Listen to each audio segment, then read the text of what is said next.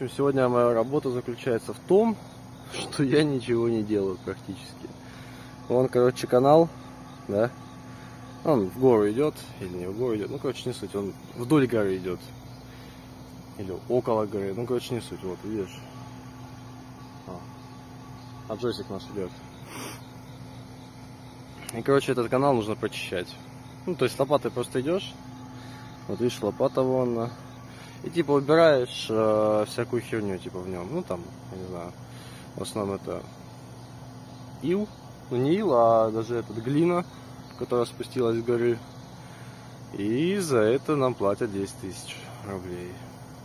Сейчас я вообще сижу, ничего не делаю. Потому что Джосик сказал, блин, я что-то устал, говорит. Пошел-ка я это, покурил. Ты это тоже, говорит, посиди, отдохни. Поэтому такая работа вам сегодня. Я, конечно, в шоке.